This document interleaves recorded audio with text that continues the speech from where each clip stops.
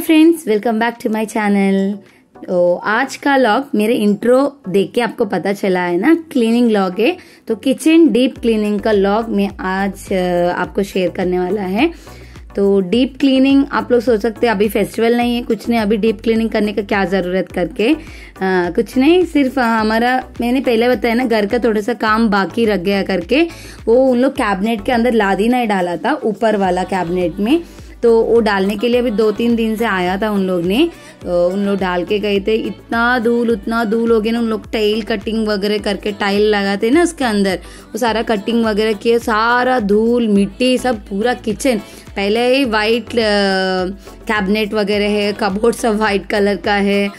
तो मैक्सिमम मैंने महीने में एक बार तो सफ़ाई करता मतलब इतना डीप नहीं है। डोर्स वगैरह तो मैं साफ़ करती रहती हूँ।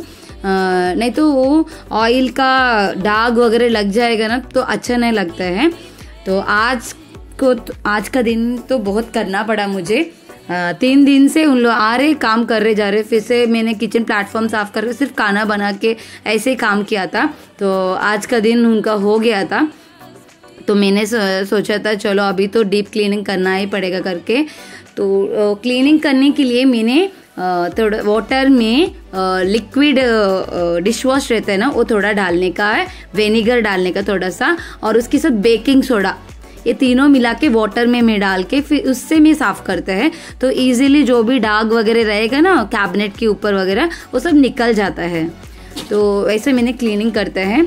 मैक्सिमम तो हर हर डे तो नॉर्मल क्लीनिंग तो होता है। डीप क्लीनिंग तो महीना, महीने में तो एक बार तो करते हैं, नहीं तो बहुत, बाद में ना ज़्यादा हो जाएगा।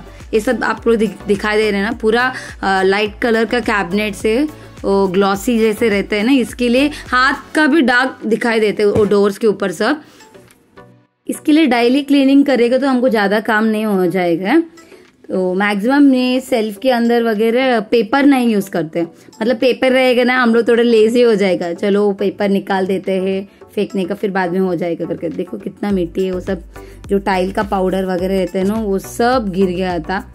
तो मैंने सारा बॉटल्स निकाला, सारा सामान चम्मच से बड़ा बर्तन तक सब धो के लिया था। पूरे मेरे को दो दिन लगा साफ़ करने में।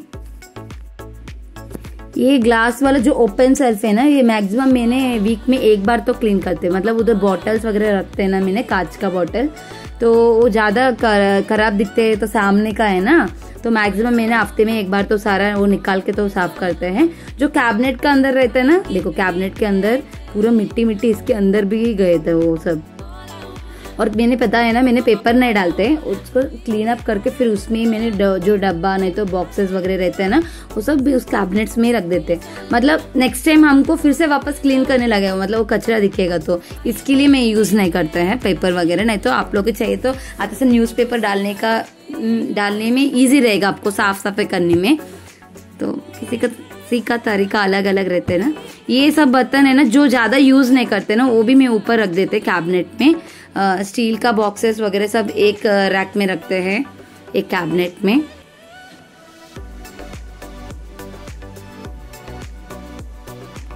ये ऊपर कैबिनेट्स में ना जो ज़्यादा यूज़ नहीं करते हैं ऐसे ज़्यादा सामान में ऊपर ही रख देते हैं उस कैबिनेट्स में। और जो नीचे के कैबिनेट में इधर रेशन वगैरह रखते हैं, थोड़ा साफ़ करके, जो मंथली रेशन रहते हैं ना, वो सब। ये दीवार देखने में इतना अच्छा लगते है ना, आप लोग पूछो मत, इसके ऊपर भी कितना धूल बैठ गया था। तो साफ़ करते वक्त तभी मुझे पता चला था, नहीं तो देखो कितना मिट्टी है उसके ऊपर भी। तो उधर से मैंने पूरा किया था, दो दिन लगा मैंने बोल रहे ना मतलब मैं स्कूल जाते, आने के बाद जब भी टाइम मिलते हैं ना, उसी टाइम में करते हैं। इसके लिए। तो उस दिन मैंने क्या किया था? दो बजे आया था ना, तभी मैंने स्टार्ट किया था। टू ओ क्लॉक से पूरा नाइट इलेवन थर्टी हुआ मेरे को पूरा करने में। मतलब हर डब्बा, जो भी है, सब मैंने वॉश कर दिया था। सन के नीचे ड्राई किया था। फिर वो सब वापस लेके आया था। उसके अंदर ये सब डाल के फिर रख दिया था। अभी भी काम बाकी है। क्लीनिंग बोले तो बोलो मत। जितना भी करो ना घर घर को उतना काम हमको निकाल के बाहर दिखती रहते हैं। मुझे साफ़ करो मुझे साफ़ करो करके हर चीज़ हमारे ऊपर देखते रहते हैं। एक भी नहीं तेरे तो बहुत गंदा दिखेगा। So this is my cleaning finish हो गया था। नाइट इलेवन थर्टी हुआ मेरे को साफ़ करते करते सब। So I think you like my video if you like please comment, share and subscribe to my channel. See you in my next vlog. आप लोग टिप्स भी बता सकते हैं। जैसे मैंने कर रहे हैं, उसमें कुछ करेक्शंस रहेगा, नहीं तो ऐसे करेगा, मैं अच्छा लगेगा करके। ऐसे मेरे को थोड़ा आइडिया बता दो, बता दीजिए कमेंट्स में तो मुझे भी अच्छा लगेगा। आपके कमेंट्स देख के। So see you in my next video bye bye